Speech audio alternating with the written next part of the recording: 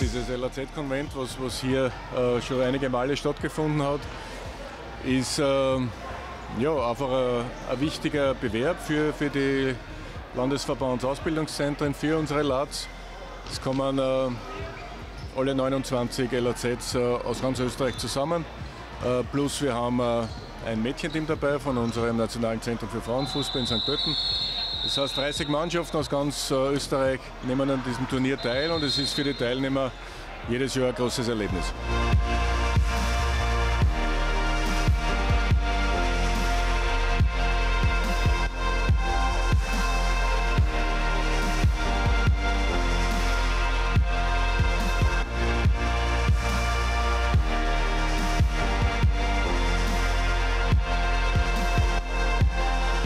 Es sind Spieler, oder es kommen Spieler zum Einsatz, die auf sehr hohem Niveau äh, so ein Futsal-Konvent bestreiten und das freut natürlich die, die Trainer und natürlich auch die Zuschauer.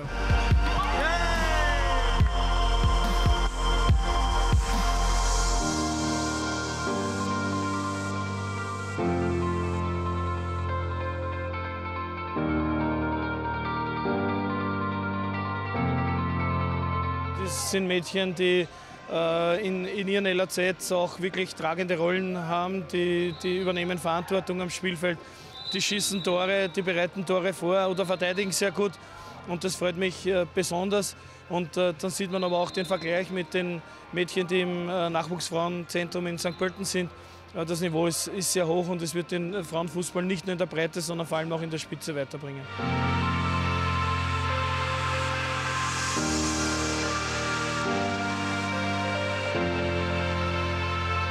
Mit Fußball, das muss Spaß machen. Ich habe immer einen Ball dabei, also wenn, wenn drei Tage, was gibt Schönes eigentlich, oder?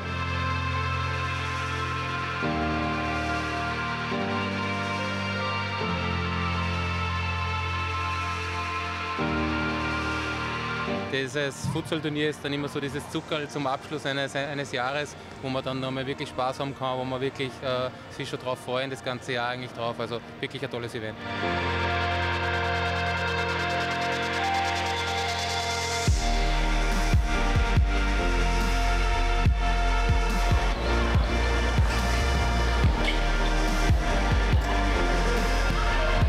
Die Handlungsschnelligkeit ist im, im Futsal sehr, sehr gefragt und, und wenn die Jungs und Mädels von klein auf schon äh, Futsal spielen, dann bringt es sie natürlich einerseits im Futsal weiter, aber andererseits gibt es extrem viele Parallelen zum normalen Elferfußball dann im Erwachsenenbereich. Und wenn man sich halt anschaut, welche Topstars im Fußball einfach in ihrer Kindheit schon mit Futsal begonnen haben, vor allem im südamerikanischen Raum, ein Messi, ein Ronaldo, ein Ronaldinho, sind einfach Spieler, die von diesem Background kommen, auch dem Straßenfußball.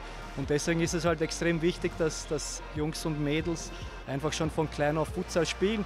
Einfach dieses freie Spielen, der Spaß, Kreativität und das sind halt die wichtigsten Elemente, die ihnen dann natürlich auch im Fußball weiterhelfen.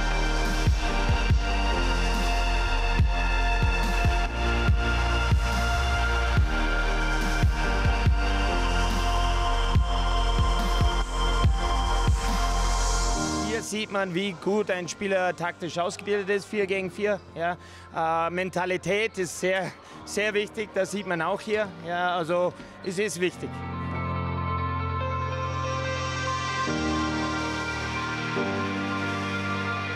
Niveau ist, ist, ist sehr, sehr gut. Ähm, es schaut immer mehr nach Futsal-Spielen aus. Ja. Ich kann mich erinnern, vor fünf, sechs Jahren haben wir noch richtig Fußball gespielt in der Halle mehr oder weniger, aber jetzt dann diese Futsal-Techniken immer mehr drinnen. Die Abläufe, die man auch im Futsal in der Bundesliga oder bei Länderspielen sieht, sind schon viel, viel mehr drinnen. Also man sieht, die Mannschaften beschäftigen sich generell mehr mit Futsal und äh, bereiten sich auch dementsprechend professionell darauf vor.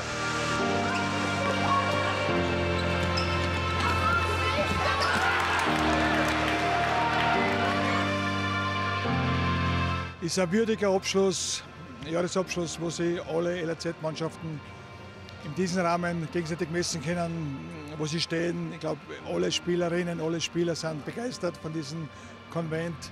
Die Trainer können sich untereinander austauschen und ich glaube, das haben sich die Spieler oder die, die LAZs verdient, dass sie auch mal in so einem Rahmen nochmal zusammenkommen.